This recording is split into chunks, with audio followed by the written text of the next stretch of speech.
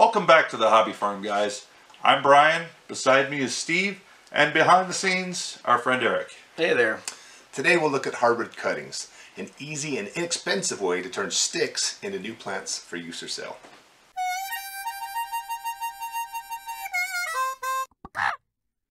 It's time for pruning here in Idaho. Pruning, or cutting back parts of the plant, keeps plants healthy and vigorous by removing old, diseased, or damaged wood and allowing air and sunlight in. It also allows you the chance to influence the size and shape of the plant. Also, by removing some buds and fruiting spears, those that remain are able to produce larger, sweeter fruit.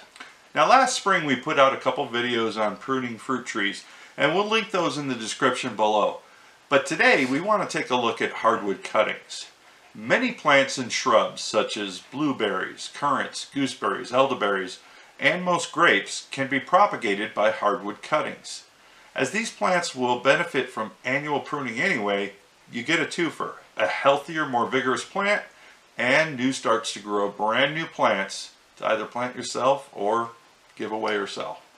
Now it's important to note that there are several methods of propagation available, and many plants can be effectively reproduced using more than one method. The most common methods are cuttings, layering, division, budding, and grafting. But today we're talking cuttings. But even within cuttings, you have herbaceous, softwood, semi-hardwood, hardwood cuttings, with the variation really coming down to when the cutting is taken. Today we're going to focus on hardwood cuttings because A, that's what time of year it is, and B, they're super easy to do.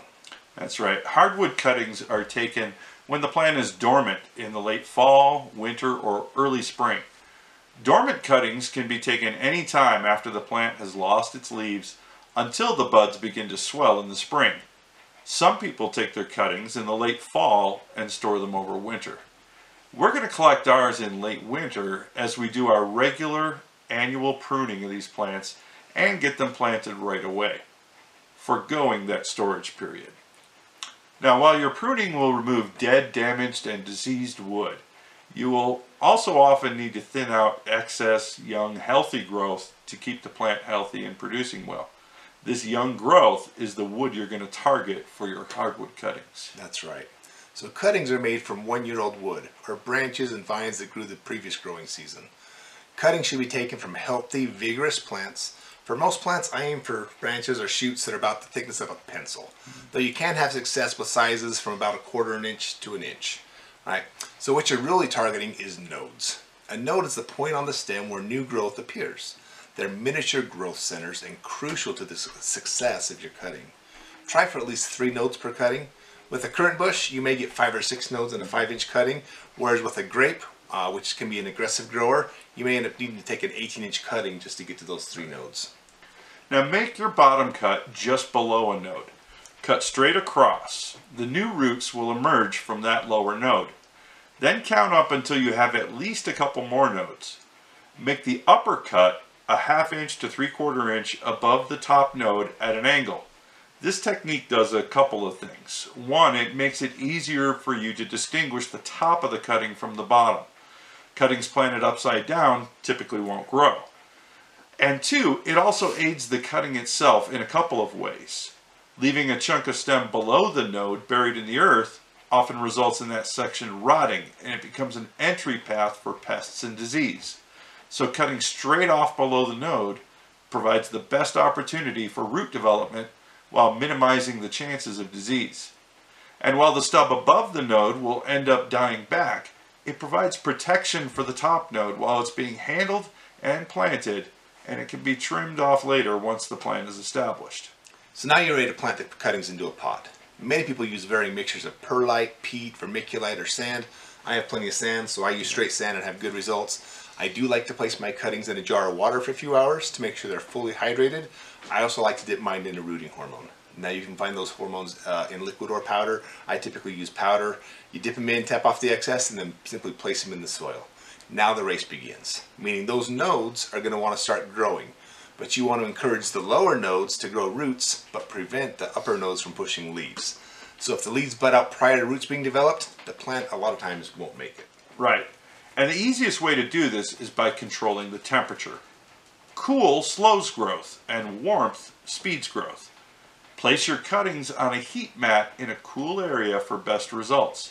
The idea is to get the roots before the buds push too much so there's an existing root system to support the new growth when it appears. Rooting occurs in one to two weeks in most cases.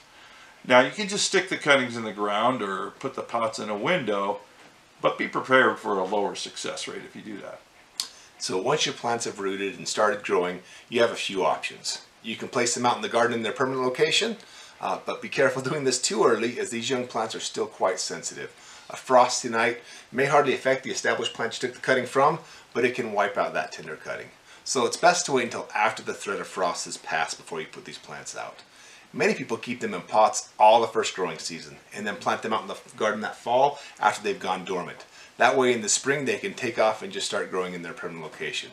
I like to keep mine potted for an entire year. Where I live, right, uh, weeks of sub-zero temperatures over the winter are not uncommon and we often don't have an insulating blanket of snow during those weeks. So I keep my cuttings just in an unheated shed over the winter. That keeps them out of the wind and provides them a little bit of protection and then plant them out the following spring before they start growing. Uh, and I have good results doing that.